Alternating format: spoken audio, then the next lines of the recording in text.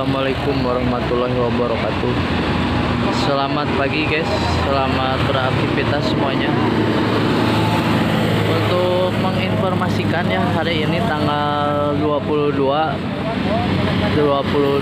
Juni Hari Kamis 2023 telah terjadi insiden truk gak kuat nanyak ditanyakan gentong Kabupaten Tasikmalaya Oke guys, sekedar informasi ini truk yang memuat barang dari arah Tasik menuju arah Bandung.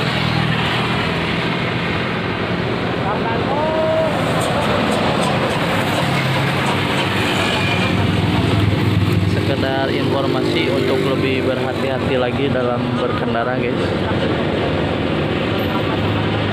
Eh, kejadiannya tadi pagi ya ini sekitar jam 9an